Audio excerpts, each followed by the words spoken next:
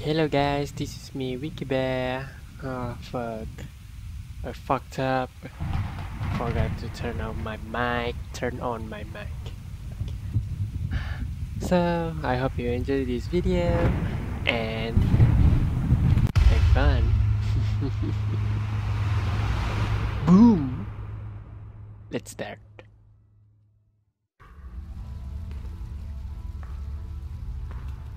My son was murdered in front of my wife.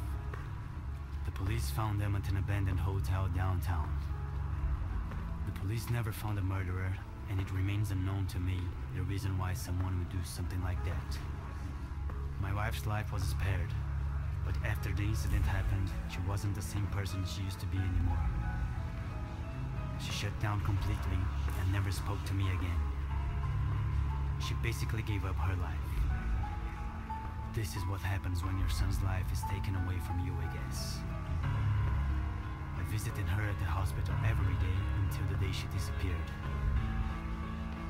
I looked for her everywhere with no success.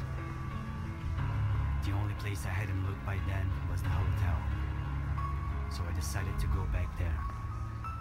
And that's when I found out that hell does exist.